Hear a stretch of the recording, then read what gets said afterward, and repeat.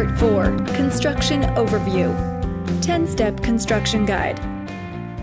Plan the outline of the block and the location of door and window openings on a conventional footing or a slab that is level, straight, and square. Reinforcing steel dowels should extend upward from the footing into the cavity of the block or as per engineering and or local code requirements.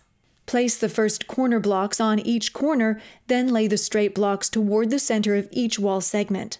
On the first course, use zip ties or wire ties on the webs to connect the blocks and pull them snugly together.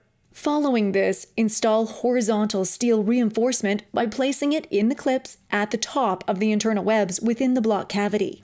The clips hold the reinforcing steel securely and eliminate the need for wire tying. Repeat this process for each course of block. Install the second course of ICF by reversing the corner blocks so that the second course of block is offset from the first in a running bond pattern. At this point, check for level across all of the blocks. If the courses are not level, use shims or trim the block as required.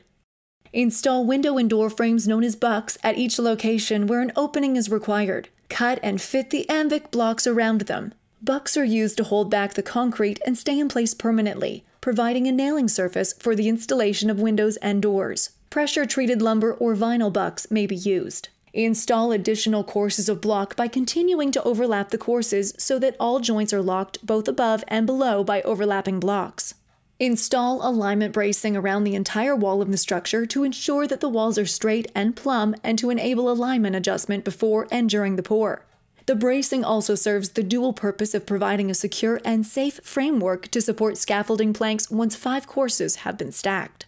Stack the block to the full wall height for single story construction or to just above floor height for multi story construction. Cut the vertical reinforcing steel to length and begin installing it from the opening at the top of the wall through the spaces between the horizontal reinforcing steel. Pour the concrete into the stacked walls using a boom pump. Do this in lifts approximately 3 to 4 feet at a time, circling the structure until the top of the wall is reached. Next, use a mechanical pencil vibrator known as a stinger to vibrate the concrete and remove all air pockets within the wall.